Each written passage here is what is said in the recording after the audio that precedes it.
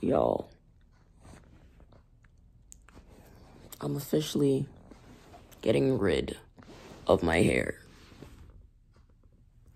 I didn't sleep with a bonnet today because I wanted to enjoy it while it lasted.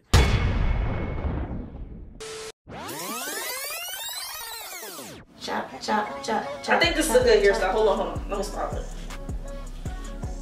My hair's not gonna do what you think it's gonna do. Yeah. Ah, I feel liberated. Now I have normal colored hair. Love it. I love it. I really do love it. Like, See the puff starting to transform. We out here. you gotta be rough like that? É uma coisa boa de quando Fernando tem Yo, she really did. Yo, your mama Your did mom be used to tearing my shit up.